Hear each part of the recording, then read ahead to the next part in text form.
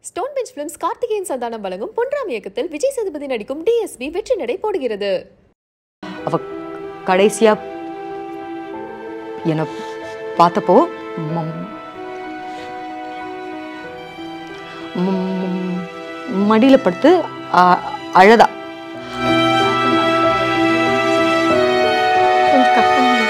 நான் வெளியில சொல்றதை விட அதிகமா என்ன அது எஃபெக்ட் பண்ணுச்சு. இது கொலை எனக்கு- என்ன நடந்தது? ஒரு அவுட்லைனாவது நீங்க சொல்லலாம் ஒரு ஃப்ரெண்டா நிறைய கையெழுத்து போட்டா. என்ன பண்ணிட்டு இருக்க? இப்போ எதுக்கு கையெழுத்து போடுற? இவ்வளோ அவசரமா சைன் பண்ண வேண்டிய அவசியம் என்ன நமக்கு கவனிக்கிற மாதிரி இப்படி கேமராவுக்கு வந்து இவ்வளோ தூரம் கேமரா இங்கே வந்து கையெழுத்து போட்டுட்டே இருக்கா அவ. அவங்க சொல்ற மாதிரி ஒரு சூசைட்னா என்னெல்லாம் இருக்கணுமோ அது எல்லாமே ஸோ கல்யாணம் ஆயிடுச்சு அவங்களுக்கு கல்யாணம் பண்ணிட்டல இதுக்காகலாம் இன்ட்ரடியூஸ்லாம் எனக்கு பண்ண வேணாம். சீரியல்லையும் அவளுக்கு பிரச்சனை இருந்தது.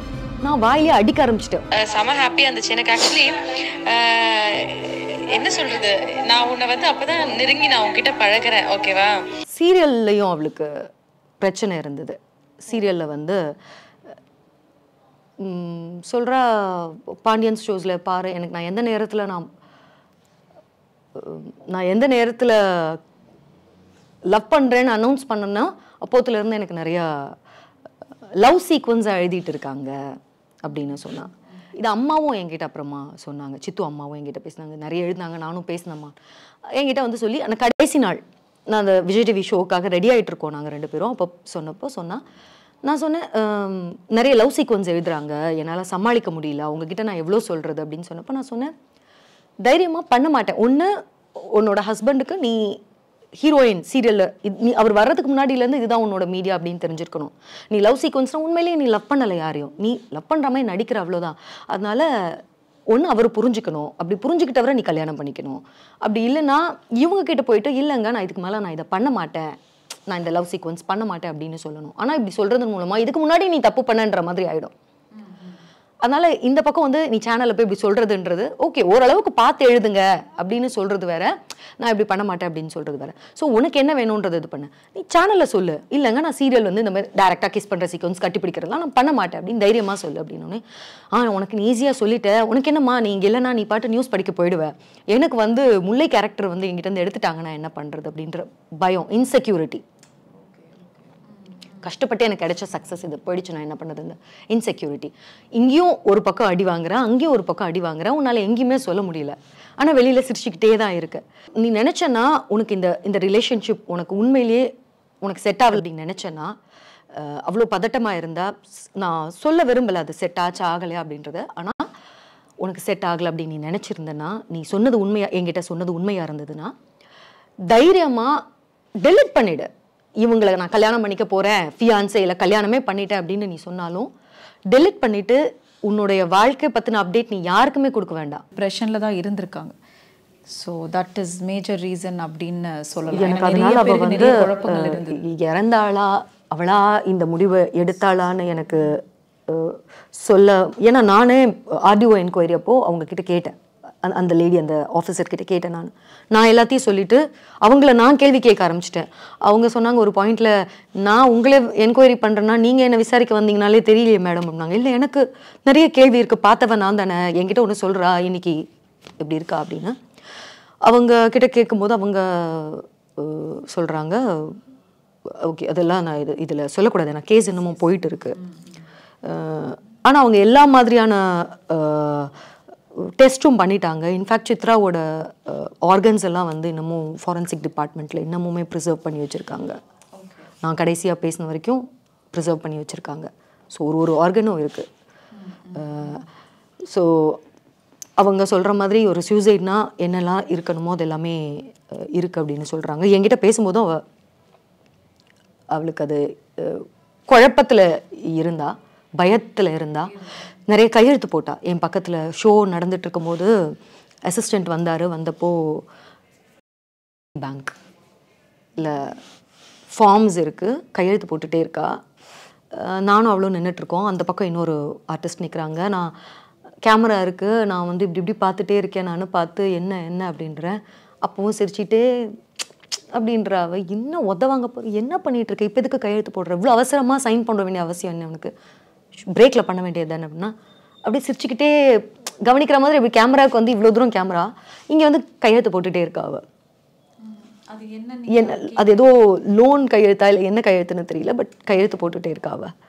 ஸோ என்கிட்ட இருக்கும்போதும் ஃபோனில் வந்து அவள் அன்பாலாம் யாருக்கிட்டையும் பேசல அவள் ஃபோனில் அன்னைக்கு வந்து அவளோட ஸ்டோரி போடல. அவள் வந்து சேடாக இருக்கேன் நான் வந்து இல்லை நான் கோவமாக இருக்கேன்றதை யாருக்கோ காட்டணும்னு நினச்சிருக்கலாம். இல்லைனா அவள் ஸ்டோரியெல்லாம் போடாமல் இருக்க மாட்டான் அன்னைக்கு ஒரே ஒரு ஸ்டோரி என் கூட இருந்தது மட்டும்தான் நானும் அப்படிதான் டார்லிங். ஃபீல் பண்ணுறேன் வந்த உடனே அவ்வளோ ஒரு அட்டாச்மெண்ட் அவ்வளோ ஒரு ஹார்ட்ஃபுல்லாக நம்ம பேசணுமே. ஒவ்வொரு விஷயத்த ஷேர் பண்ணதுமே.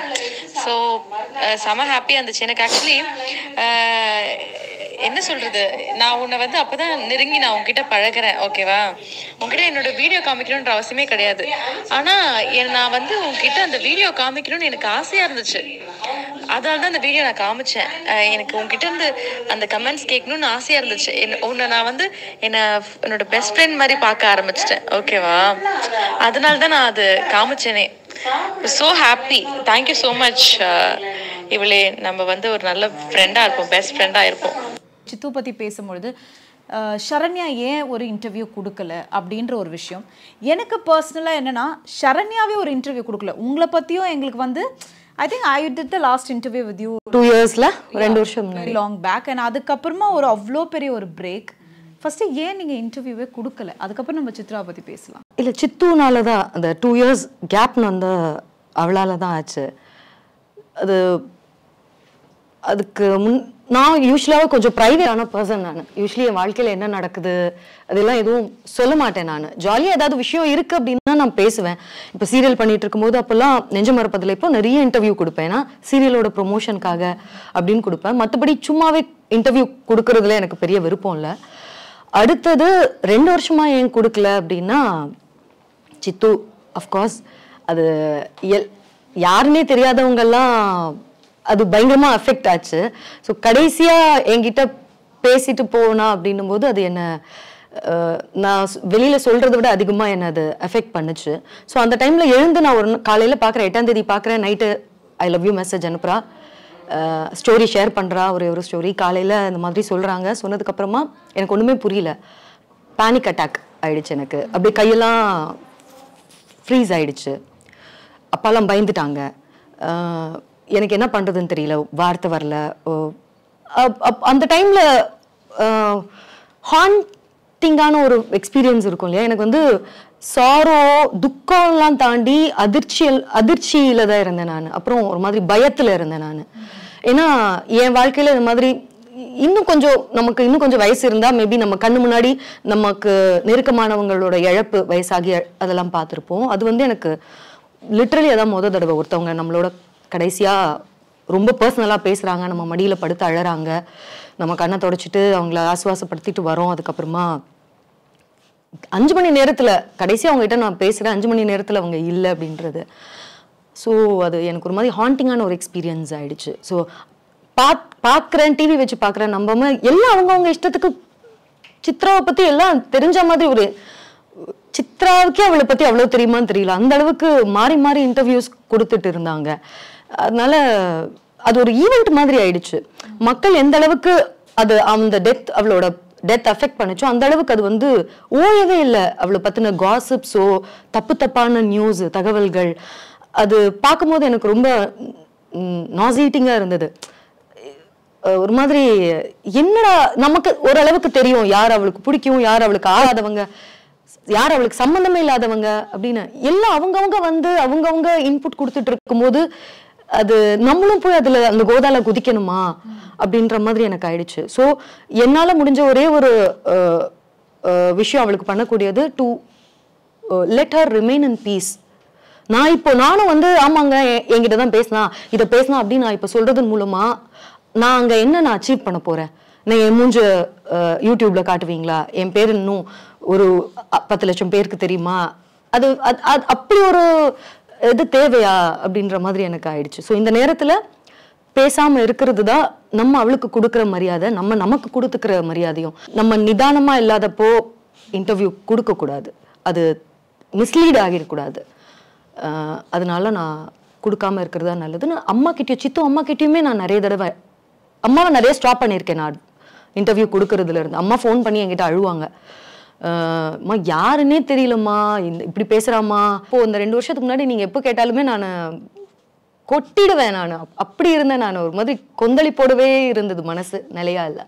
ஸோ எல்லாத்துக்குமே டைம் தானே வேணும். ஸோ ஐ திங்க் எனக்கு அந்த ரெண்டு வருஷம் கொஞ்சம் நிதானமாக பேசுகிறதுக்கு தேவைப்பட்டது.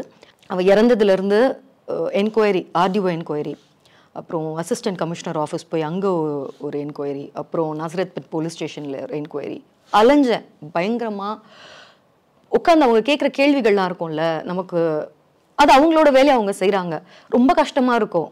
நம்ம ஒருத்தவங்களை இழந்துட்டு போய் நம்ம உட்காரும்போது நம்ம ஒரு ஒரு ஒரு மென்டல் ஸ்டேட்டில் இருப்போம். எனக்குலாம் நாலு மணி நேரம் ஆர்டிஓ என்கொயரி மட்டும். உள்ளே போயிட்டு சாப்பிடல நான் எதுவுமே பண்ணலை. உட்காந்து பேசுகிறேன் எனக்கு என்னெல்லாம் தெரியுமோ எல்லாத்தையும் நான் இங்கே சொல்ல முடியாது. எனக்கு என்னெல்லாம் தெரியுமோ என்கிட்ட என்னெல்லாம் பேசினாலும். ஆனால் அங்கே நான் சொல்லி தான் ஆகணும். ஏதாவது ஒரு விஷயம் கிடைச்சிடாதா?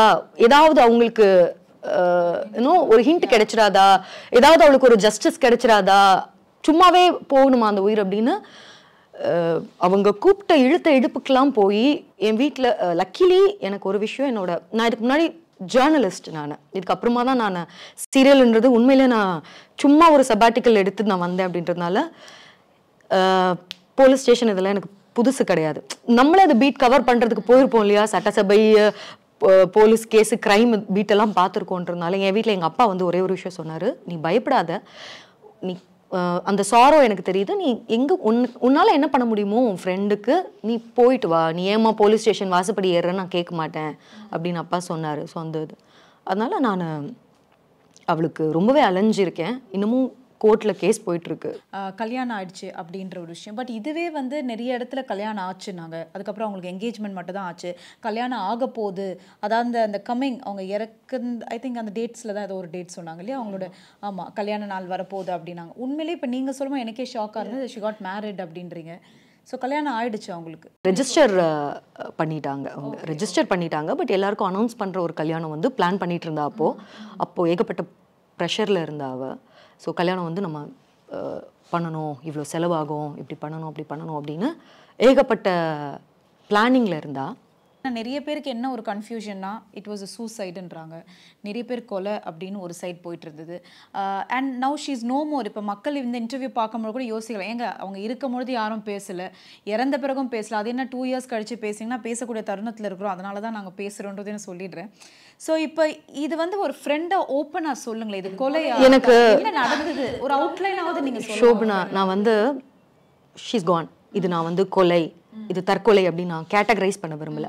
அவ கடைசியா என்னை பார்த்தப்போ மம்-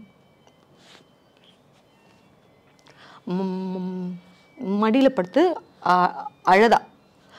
அவள் அவ வந்து கடைசி நாள் ஏன் எவருக்கு நிறைய ஃப்ரெண்ட்ஸ் இருந்தாங்க? ஏன் என்கிட்ட அப்படி ஒரு இது அம் நான் ஏன் அவளை நான் இப்போ வரைக்கும் ரெக்ரெட் பண்ணுற விஷயம் யாராவது அவளை மீட் பண்ணியிருக்க கூடாதா? ஏன் ம- நான் ஏன் அன்னைக்கு அவளுக்கு அவளோட அந்த ஈவெண்ட் அந்த ஷோ பண்ணணும் விஜய் டிவிக்கு என்னை ரொம்ப கடைசி நாள் நடந்தது வந்து நீ வா நம்ம நிறைய ரொம்ப நாள் ஆச்சு நம்ம மீட் பண்ணி. ஏன்னா அந்த லாக்டவுனுக்கு அப்புறமா நம்ம மீட் பண்ணுறோம் அப்படின்றதுனால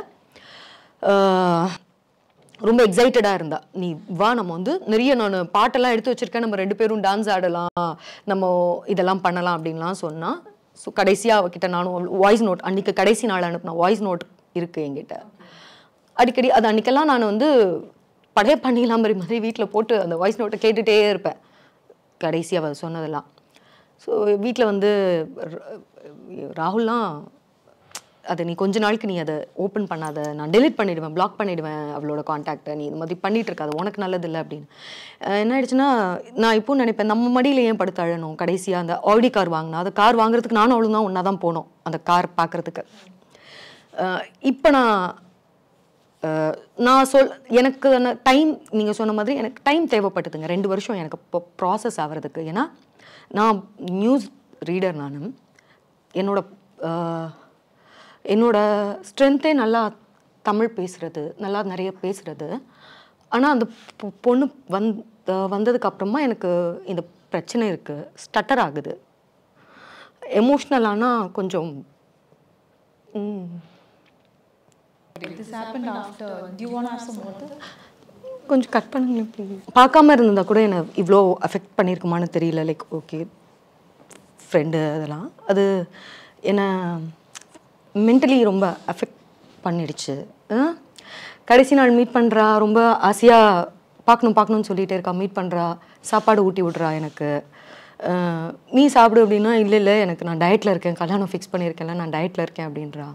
அப்புறம் ரெடியாகி போகிறதுக்கு முன்னாடி எல்லாரையும் அனுப்பிட்டு நான் தான் அவளுக்கு ட்ரெஸ் போட்டு விடுறேன். இவ்வளோ கான்ஃபிடென்ட்டாக இருந்தவங்க உங்களுக்கு அந்த எட்டாம் தேதி உங்கள் கூட இருந்தவங்க நைன்த்து இந்த மாதிரி விஷயம் நடக்குது.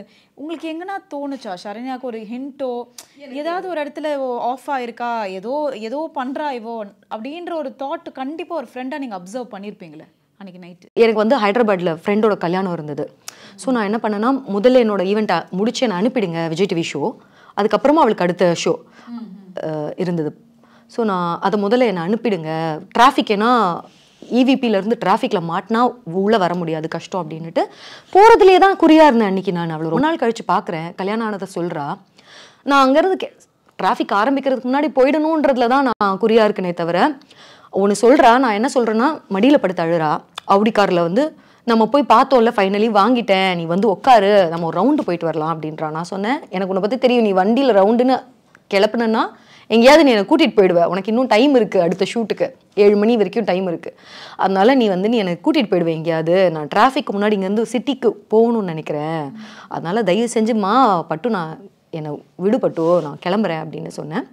சரி அப்போ கொஞ்சம் நேரம் பேசலாம் அப்படின்னு நான் சொன்னேன். இவிபி தாண்டக்கூடாது நீ. இவிபிக்குள்ளவே தான் நீ வண்டியை பார்க் பண்ணி பேசணும் அப்படின்னு சொன்னேன். வண்டியை பார்க் பண்ணிவிட்டு பேசுகிறா கையை பிடிச்சிக்கிட்டு பேச ஆரம்பிக்கிறா. அப்புறம் ஒரு பாயிண்டில் ம மடியில் படுத்து அழ ஆரம்பிச்சிட்டா.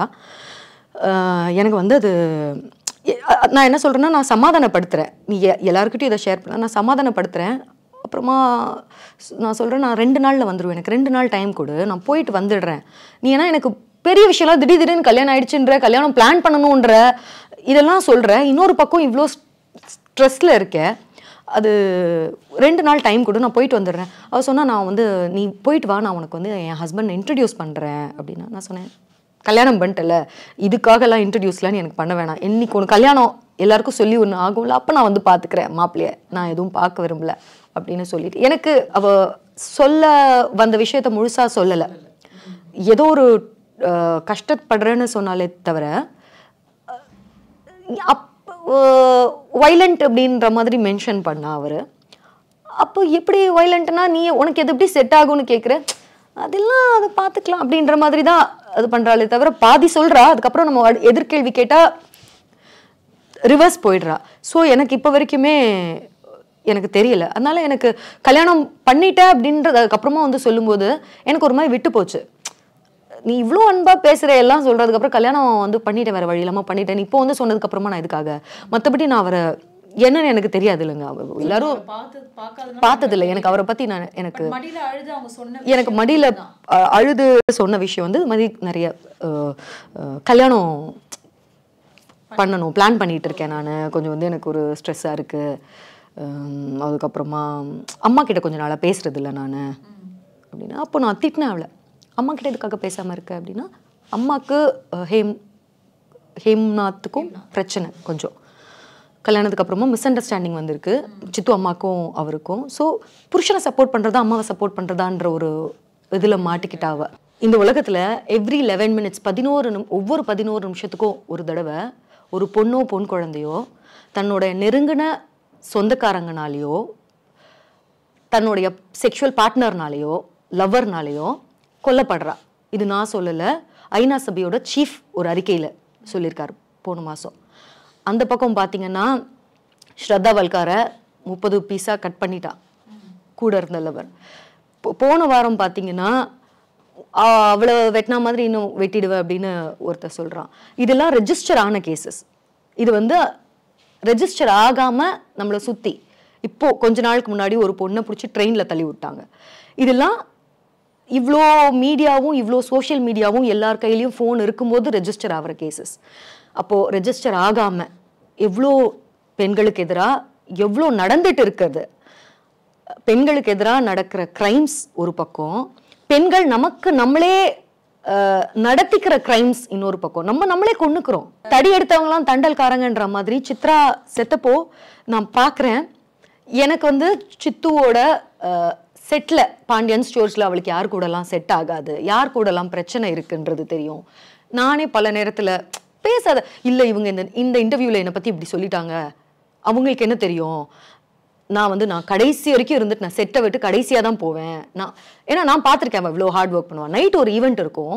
சித்து வந்து முல்லை கேரக்டர் ஹீரோயினாக உன்னை எக்ஸப்ட் பண்ணிட்டாங்கல்ல. ஆனாலும் ஏதாவது ஒரு கல்யாணத்தில் போய் ஹோஸ்ட் பண்ணணும் ஷோ ஹோஸ்ட் பண்ணணும்னா பண்ணுவா எம்சி நான் ஒரு ஹீரோயின் அதை பண்ண மாட்டேன்னு சொல்ல மாட்டேன் ஒரு குறைஞ்ச பேமெண்ட்டில் நீங்கள் சொன்னால் கூட இந்த ஷோவை தொகுத்து வழங்குன்றவங்க கண்டிப்பாங்க நீங்கள் கொடுங்க. ஐயோ இல்லைன்னு சொல்லாதீங்க. நான் நைட் என்ன பண்ண இப்படியே சிரிச்சுக்கிட்டே பேசுவாவ போயிட்டு அதை அட்டன் பண்ணிட்டு அங்கேருந்து கார் ஓட்டிட்டு விடிய காலையில் வீட்டுக்கு போய் குளிச்சுட்டு அங்கேருந்து நாசராத் பேட் அவளோட ஷூட்டிங்க்கு அங்கே போய் ஒம்பது மணிக்கு லேட்டாக போனாலும் மேக்கப் போட போனாலும் நைட்டு கடைசி ஷாட் அவளுக்கு தான் வைப்பாங்க. ஃபோன் பண்ணுவாள் டயர்டாக இருக்கு பட்டு கடைசியாக எடுத்தாங்க அப்படின்னு. எனக்கு எப்படி இருக்குன்னா அவள் பக்கத்தில் உண்மையிலேயே என் பக்கத்தில் உயிரோடு இருந்து அவங்கள பார்த்து சிரிக்கிற மாதிரி இருக்கும். ஜோக் அடிக்கிற மாதிரி இருக்கும். பாரு பட்டு ஏன்னா அவள் இப்படி சொல்லிட்டா அப்படின்னுட்டு என்கிட்ட அத்தனை தடவை புலம்பு புலம்புன்னு புலம்புனா. நான் வாயிலே அடிக்க ஆரம்பிச்சிட்டேன். நாளெல்லாம் புலம்புனா வாயிலே பட்டு பட்டு பட்டுன்னு போடுறேன் நான். இப்போ எதுக்கு அதை பற்றி பேசிகிட்டு இருக்கேன் உனக்கு தெரியும்ல நீ சின்சியராக வேலை பண்ணுறேன்னு அதை எதுக்காக நீ எதிர்பார்க்குற? எல்லாரும் உன்னை பற்றி நல்லதாக பேசணும்னு. ஆனால் அதை எதிர்பார்ப்பா.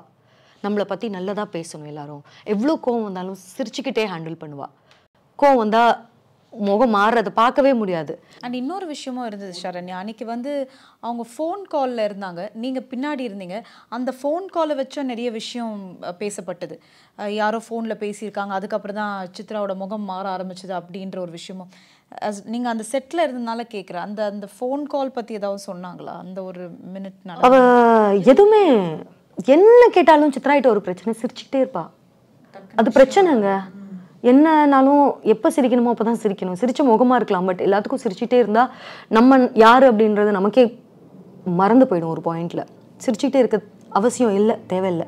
இருக்க வேண்டிய அவசியம் இல்லை. அழ அழுக வந்தால் அழுதுடுறது பெட்டர் நான் நினைக்கிறேன். அது அவள் பண்ணலை. நிறைய இடத்துல எங்கெல்லாம் வந்து ஓப்பனாக இருக்கணுமோ அங்கே இல்லை சிரிச்சுக்கிட்டே அதை கடந்து வந்துடலான்னு நினச்சா பட் அன்ஃபார்ச்சுனேட்லி அவளால் கடக்க முடியல. அவ நான் அந்த நேரத்தில் அவ அவளுக்காக பேசியிருக்கணும். நான் பார்த்தேன் நீங்கள் உங்கள் சேனலில் கூட நினைக்கிறேன் நீங்கள் உட்பட யார் யாரோ சம்மந்தம் இல்லாமல் வந்து பேசுகிறாங்க அவளை பற்றி எல்லாத்தையும் தான் நீங்கள் இன்டர்வியூஸ் உண்மையா பொய்யா எது பற்றியும் கிராஸ் செக் பண்ணலை. போட்டுட்டே இருக்கீங்க மக்கள் வாயில் வந்ததெல்லாம் பே- பேசிக்கிட்டே இருக்காங்க. அப்போ அந்த பொண்ணோட பெரிய பயம் கடைசியில் அவள் எதுக்கு பயந்தாலோ அது நடந்தது. நம்மளை பற்றி என்ன நினைப்பாங்களோ நம்மளை பற்றி என்ன பேசுவாங்களோ அப்படின்னு ந- நினைச்சா அது இஷ்டத்துக்கு வாய்க்கு வந்த மாதிரிலாம் பேசினாங்க. அப்போ எனக்கு என்ன தோணுச்சுன்னா நம்ம யாருக்காகவும் பயப்படக்கூடாது. நம்ம நம்மளோட வாழ்க்கையை நமக்கு நல்லவங்களா நம்ம வாழ்கிறோமோ அவ்வளோதான் அதுக்கப்புறமா பேசுகிறவங்க பேசிட்டு தான் இருக்க போகிறாங்க நீங்கள் இந்த சமுதாயத்துக்காக சாவரன்னு நீங்கள் எழுதி வச்சு செத்தா கூட உங்களை பற்றி ஏதாவது ஒரு ஒன்று தப்பாக பேசுகிறவங்க இருந்துட்டு தான் இருப்பாங்க. அதை போடுறதுக்கு இன்னைக்கு ஆயிரம் யூடியூப் சேனல்ஸ் இருக்குது ஸோ மற்றவங்களுக்காக வாழ வேண்டியதில்லை. அழுக வருதா அழுதுடு. சிரிச்சுக்கிட்டே இருக்க வேண்டிய அவசியம் கிடையாது. உன்னோட வேலை கேமரா முன்னாடி நடிக்கிறது. அதுக்கு பின்னாடி நீ எல்லாருக்கும் நல்லவளாக இருக்க வேண்டிய அவசியம் இல்லை. அந்த பொண்ணு அப்பாண்டமாக நிறைய பேசிட்டாங்க.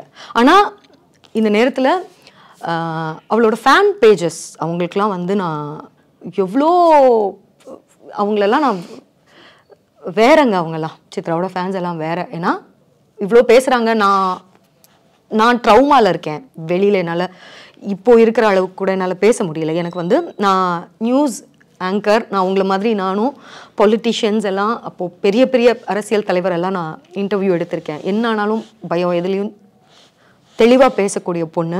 இந்த ரெண்டு வருஷத்தில் என்னால் பேச முடியல. எமோஷன் ஆனால் வாயில் வார்த்தை வர மாட்டுது எனக்கு. அதனாலே நான் அவாய்ட் பண்ண மீடியாவை. ஏன்னா எல்லாத்தையுமே நான் காட்ட மாட்டேன் வெளியில். என்னோட ஃப்ரெண்ட்ஸுக்கு என்னோட அப்பா அம்மாவுக்கு தெரிஞ்சால் போதும் அப்படின்ற மாதிரி. ஸோ இன்னமும் நான் ஸ்ட்ரகிள் பண்ணிகிட்டு இருக்கேன். அதுலேருந்து வெளியில் வருவேன் நான். ஸோ ஆ இவ்வளோத்துக்கும் நடுவில் என்னால் சில விஷயங்கள் பேச முடியல. நிறைய வேற என்னென்னோ பேசிகிட்டு இருக்காங்க. இப்போ நானும் குறுக்க வந்து பேசி இதை வச்சு ஒரு யூடியூப் சேனல் தொடங்கணுமா? இதை பற்றி பேசி நானும் அதில் பங்கு வேணுமா? ஒரு மாதிரி வல்ச்சர் மாதிரி ஆயிடுச்சு. எனக்கு வந்து எல்லாம் கழுகு மாதிரி தெரிகிறாங்க Stone Bench Films Karthikeyan Santhanam வழங்கும் பொன்ராம் இயக்கத்தில் விஜய் சேதுபதி நடிக்கும் டிஎஸ்பி வெற்றி நடை போடுகிறது.